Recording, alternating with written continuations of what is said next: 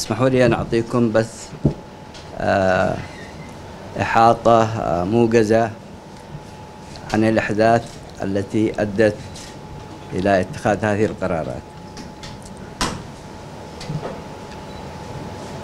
آه، لقد حاول البنك المركزي اليمني أن يتعامل بمسؤولية منذ نقله في عام 2016 لإدراكه بأهمية القطاع المصرفي والتعامل معه بحيادية. وفقا لأحكام القانون البنك المركزي وقوانين البنوك التجارية والإسلامية والقوانين التي تحكم النشاط ال- ال- الاقتصادي برمته. البنك المركزي صبر على كثير من التجاوزات والاستفزازات والانتها- والانته- والانتهاكات لعل الطرف الآخر يسمع لنصح محبيه وهم كثر كانوا خاصة في المجتمع الدولي ويوفر الحد الأدنى من الظروف الملائمة لعمل القطاع المصرفي للأسف الميليشيات تجاوزت كل الخطوط الحمر التي لا يمكن السكوت عليها والتي باتت تهدد الاقتصاد الوطني والنظام المصرفي بكامله وتهدد أيضا تعاملاتنا مع العالم. خاصة مع تصنيف الجماعة جماعة إرهابية. أولا من قبل الأمم الولايات المتحدة الأمريكية وثانيا من قبل الحكومة الأسترالية. والمؤشرات توحي أن هناك أيضا تصنيفات من قبل, من قبل تجمعات ودول في مختلف القارات. طبعا هذا الوضع خلق واقعا صعبا للقطاع المصرفي اليمني برمته. وليس للبنوك فقط التي تقع آه، تحت سيطرة آه، الميليشيات. مما حتى مع البنك المركزي التحرك للمحافظة على الحد الأدنى من المعايير المصرفية التي يقبل موجبها العالم التعامل مع أي بلد وليس مع اليمن فقط. لقد رصد البنك المركزي اليمني ووثق أكثر من عشرين انتهاكا ارتكبتها الميليشيات بحق القطاع المصرفي أوردنا بعضا منها في ورقة ستوزع عليكم بعد ال- الإحاطة وبعد بعد المؤتمر الصحفي. ولكن لا يضر أن نذكر أهم هذه ال ال الانتهاكات التي سرعت باتخاذ بعض القرارات. وحتمت على البنك المركزي التحرك وإصدار قرار نقل البنوك ومراكز أعمالها إلى العاصمة المؤقتة عدن كمحاولة لإنقاذ تلك البنوك ومن انهيارها مع مع تأكيدنا على الآتي أن هذا القرار قرار يمني سيادي وقرار ذو طابع نقدي ومصرفي وليس له أي صلات بالوضع الإقليمي أو الدولي. كما يدعي الحوثيون وليس له دخل بحرب غزة. والشعب اليمني كله وبأكمله يقف مع غزة ومع مقاولة مع ومع مقاومة الاحتلال البشع. وهو موقف رسمي وشعبي. لا كما يفعل الحوثي باستغلال القضية العادلة بتبرير أهداف الانتهازية. الحوثيين هم من بدأ بتسييس القطاع المصرفي واختراق كل المعايير والقوانين. وذلك أولا بتجميد ومصادرة حسابات المواطنين وهي بالآلاف ممن يتهمونهم أو يعتقدون أنهم يقفون ضد سياساتهم وضد قمعهم. ثانيا منعوا تداول العملة الوطنية من الطبعة الجديدة وبذلك قسموا البلد وشطروا الاقتصاد وخلقوا واقعا مريرا عانى منه كافة الشعب اليمني والأكثر معاناة من يقعون تحت سيطر- سيطرة الميليشيات قطعوا المرتبات خلقوا ركودا اقتصاديا داخل المناطق التي يسيطرون عليها فرضوا سعر صرف وهمي لنهب مدخرات المواطنين وتحويلهم بسعر صرف يقل عن سعر الصرف الحقيقي الذي تحدده وتفرض العوامل الاقتصادية. أصدروا قانون ما يسمى بتحريم المعاملات الربوية وحولوا ودائع المواطنين إلى حسابات جارية أيضا ممنوع سحبها مما أفقد المواطنين مدخراتهم وعرض القطاع المصرفي كاملا للانهيار وخاصة البنوك التجارية. هذا التحريف أو التخريف المتخلف الذي اسمه قانون تحريم المعاملات الربوية أطاح بكامل منظومة القوانين والتشريعات الذي تنظم عمل القطاع المصرفي والنشاط الاقتصادي كاملا. ومنها قانون البنك المركزي قوانين البنوك التجارية والإسلامية قانون التجارة القوانين الأخرى التي تنظم النشاط الاقتصادي. أخطر تلك التجاوزات والانتهاكات الإقدام على صك عملة مزورة بواسطة كيان غير شرعي وغير قانوني وإنزالها للتداول.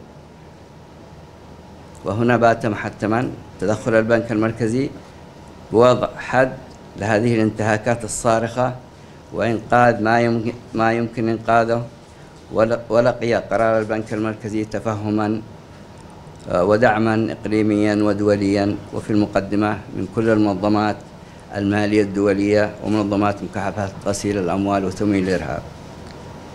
يتباكى الحوثي على الشعب اليمني دقلا وخداع. فهو من تسبب بمعاناة اليمنيين أولا بنهب مدخراتهم في البنوك وثانيا بمنع تداول العملة. منع تداول العملة أحرم عشرات الآلاف من الموظفين الذين كانوا يعملون في مناطق سيطرة الحوثي من المرتبات التي كانت تدفعها الحكومة. وخاصة في قطاع التعليم قطاع التعليم العالي القضاء والصحة. ثالثا ضرب موانع النفط ووقف التصدير ومنع الغاز المنزلي واستبداله بالغاز الإيراني. وما تلاه من معاناة ليس آخرها ما حدث في عدن من إخراج المرضى من غرف الإنعاش إلى باحة المستشفيات وأرصفة الشوارع ليموتوا من حر من الحر بسبب انقطاع الكهرباء لانقطاع الوقود بسبب آه، الحرب الذي شنها الحوثي على موارد البلد الاقتصادية.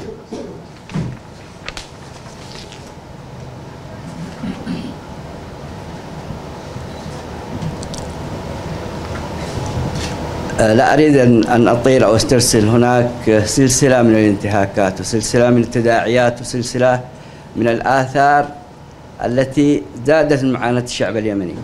ليس أقلها ارتفاع معدلات الفقر إلى أكثر من 85 أو 87% منهم 21 مليون بحاجة إلى الغذاء مساعدة الغذاء. لكن قبل أن نفتح المجال للأسئلة والحوار نريد التأكيد مرة أخرى. هذا القرار سيادي وقرار البنك المركزي وليس له صلة بأي أحداث أو جهات كانت محلية أو إقليمية أو دولية. وأن البنك المركزي يعمل وفقا للقانون وليس وفقا للتوجيهات والتوجهات وهذه السياسة ثابتة ومعلنة. وآخرها ما نشر من إعلان قبل يومين بسبب شائعات الحاويات التي تخرج من مطابق الحوثي وللأسف وللأسف تدول في مناطق الشرعية وخاصة في المواقع والمواقع التواصل الاجتماعي وبعض المواقع وسائل الإعلام هنا في آه، في عدن. ثانيا نحن ماضون في تنفيذ القرار بكل مراحله وفقا للخطة المقررة. ثالثا نحن منفتحون للحوار للوصول إلى حلول. لكل الإشكالات التي تعيق قطاع العمل المصرفي في اليمن وتضمن عمله بحيادية وفقا للقوانين وتحت رقابة البنك المركزي اليمني. وقد أبلغنا موقفنا هذا لمن تواصل معنا وكذلك لمن حاول أن يتفادى تنفيذ المراحل المختلفة للقرار. خلال الفترة التي كانت ممنوحة للبنوك لتوفيق أوضاعها. نقطة هامة وأخيرة. لا نريد الهدف من إصدار هذا القرار أن ينحرف عن مساره أو أن يستغل من قبل البعض لتصفية حسابات مع هذه البنوك التي شملتها القائمة. البنوك هذه هي أكبر البنوك العاملة في اليمن. ولم ترتكب أي مخالفة تتعلق بجرائم غسل الأموال أو تمويل الإرهاب وإلا سيتم إغلاقها فورا. ولكنها خضعت لضغوطات جماعة مصنفة إرهابيا وفشلت في توفيق أوضاعها خلال الفترة المحددة بموجب قرار البنك المركزي ومتطلبات المرحلة ومنعتها عن تنفيذ الإجراءات المنظمة للتحويلات والتعاملات المحلية والدولية. هناك بعض الإجراءات التي قام بها المركزي منها آه، نظام الحساب الموحد الأيبان الذي يسهل تعاملات المواطنين في كل مع اليمن والعالم وفي كل المراحل ويضبط العملية أيضا. وأيضا استفادة القطاع المصرفي اليمني من آه، منصة بناء وهي منصة لتسوية المدفوعات الإلكترونية بين الدول العربية. ومقرها آه، صندوق النقد العربي في أبو ظبي. ولا تخضع لا للسياسات ولا للدول ولا أي شيء إنما تخضع لمعايير مصرفية الحوثي منع هذه البنوك وقد كانت قطعت شوطا كبيرا في الإعداد لل في الاشتراك بالمنصة أو في الإعداد لتنفيذ الرقم الموحد للمدفوعات اللي هو أيبان. صبر البنك المركزي كان صبرا آه، تفاديا لأي إجراءات تعقد المشهد وتربك عمل القطاع وتزيد من معاناة المواطنين.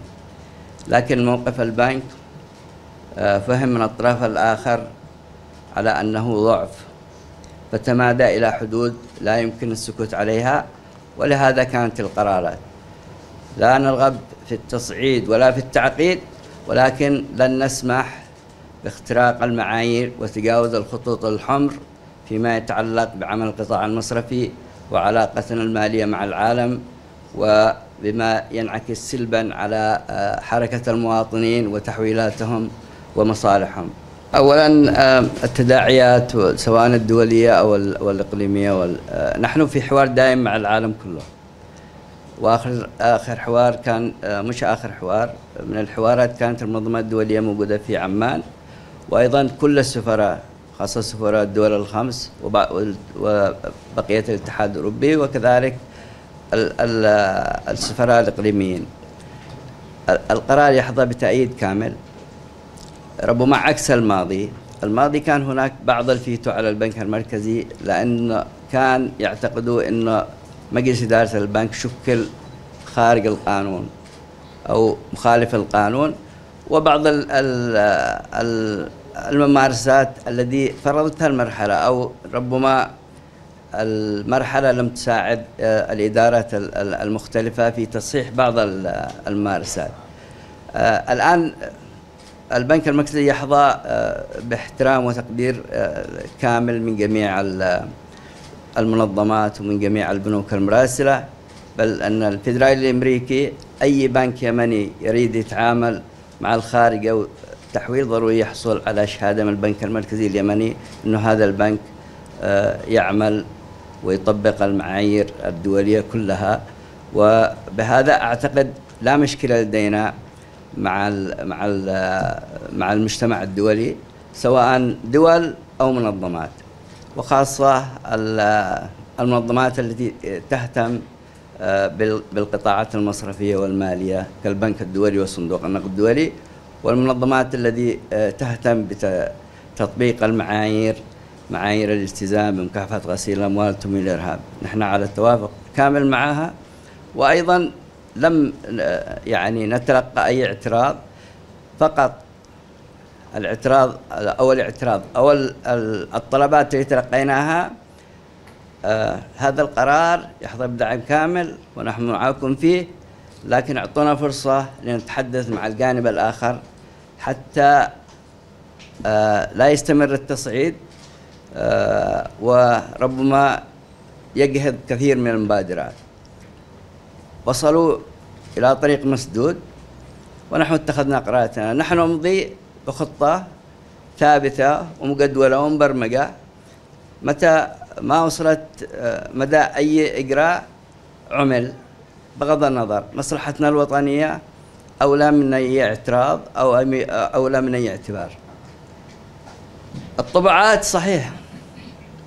لا يوجد طبعات في في المناطق المحررة سواء 2 مليون ونصف ريال موجودة في مارب في أحد البنوك. إحنا عملنا آه، مسح قبل فترة يمكن من قبل شهر. ربما هناك بعض المبالغ مع بعض الصرافين هي خارج النظام ليست مسجلة في النظام. لا في الأنظمة الموجودة للصرافين ولا لأنظمة البنوك. الطبعة الموجودة في صنعاء. لكن هذه الطبعة انتهت تهالكت استهلكت وأصبحت تمثل عبء على على على صحة المواطن.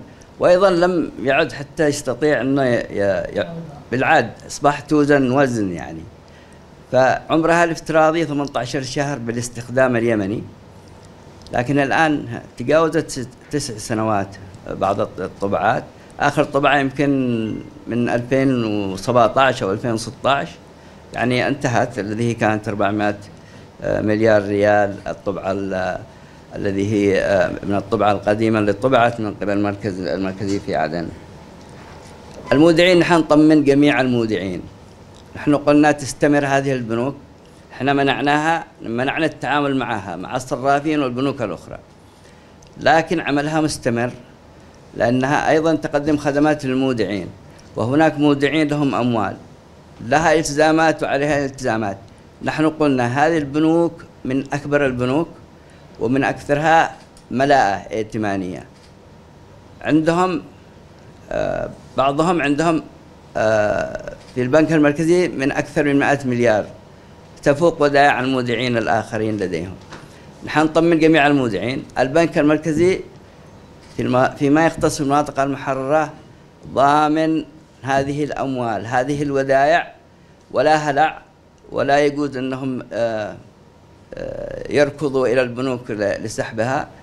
آه، هناك إجراءات البنك المركزي يضمن هذه الودائع. ومتى ما أراد صاحب الوديعة سحب وديعته سوف يحصل عليها بكل سهولة.